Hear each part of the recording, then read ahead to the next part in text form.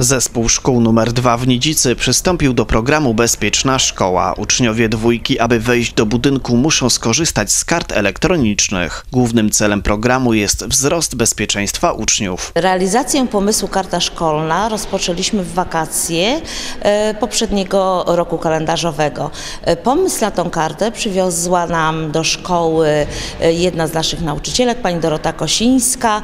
Pomysł nam się spodobał. Zorganizowaliśmy spotkanie e, z Radą Rodziców, e, która e, zaakceptowała ten pomysł.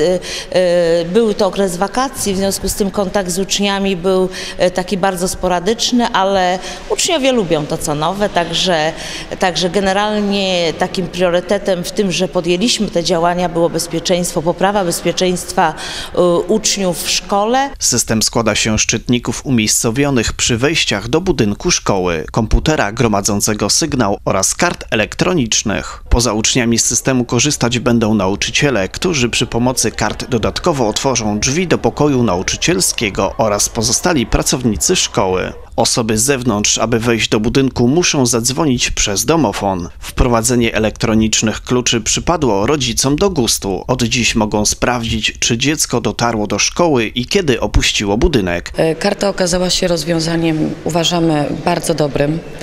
Po pierwsze, e, weryfikuje, kto wchodzi, kto wychodzi do szkoły. Nikt nieupoważniony nie ma prawa do niej wejść. Ponadto, my mamy kontrolę nad tym, co tak naprawdę robi nasze dziecko. Jest to też ograniczenie wagarowiczów, ponieważ dziecko musi się, e, że tak powiem, zalogować kartą w szkole i wiemy, czy ono jest, wiemy, o której wyszło.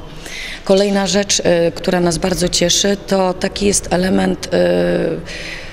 który zmusza ich do większej odpowiedzialności, ponieważ one za tą kartę odpowiadają. E, Muszą się nauczyć z nią e, żyć. Wiadomo, że niektórym dzieciom się to nie podoba, no bo trzeba o niej pamiętać, trzeba ją zabrać, trzeba o nią zadbać, ale my się z tego bardzo cieszymy. Karty mogą łączyć w sobie wiele funkcji: karty bibliotecznej, klucza, a także karty płatniczej. Dla większości rodziców jest to bardzo dobre rozwiązanie, dlatego że my jako rodzice nie ponosimy żadnych opłat za utrzymanie konta, natomiast możemy zabezpieczyć dziecko, które na przykład gdzieś wyjedzie i z jakiegoś powodu nie będzie miało gotówki. Zapomni z domu, zgubi, ktoś mu ją ukradnie. Wówczas możemy mu doładować i, i, i mamy to, tą świadomość, że dziecko jest już bezpieczne. Karty zostały wydane bezpłatnie na 3 lata. Po tym czasie szkoła będzie mogła wydłużyć ich ważność.